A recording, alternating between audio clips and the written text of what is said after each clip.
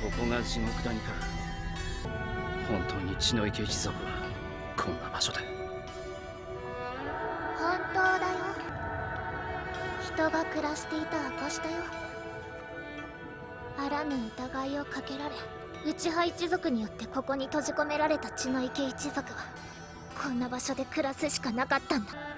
私物心ついた時にはもうお社の屋敷だったから。地獄谷から一人お社にさらわれたんだって。一人きりだったのか。何？興味あるの？珍しい。だったら見せてあげるよ。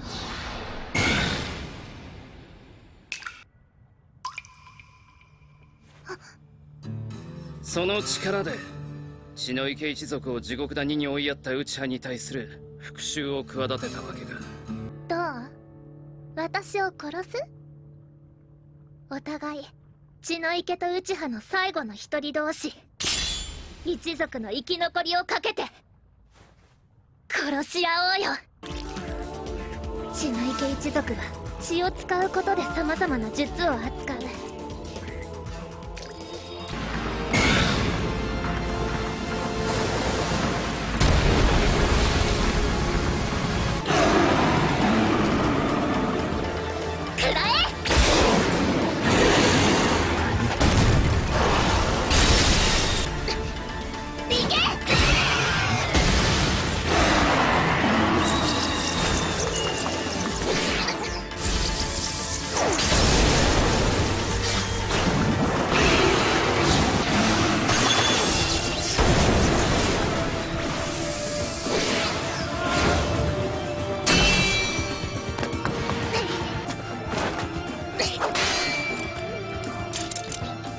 まだ続けるか。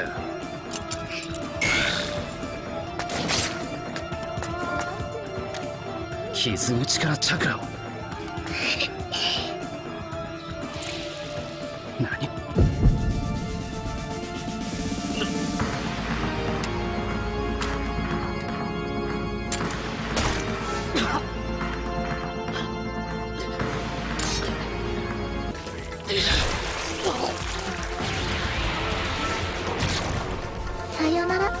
ら内派サスケ